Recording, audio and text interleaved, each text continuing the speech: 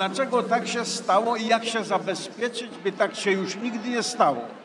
Dopiszcie do swoich programów wyborczych trójpodział władzy, niezależna prasa. Dopuść, dopiszcie do swoich programów.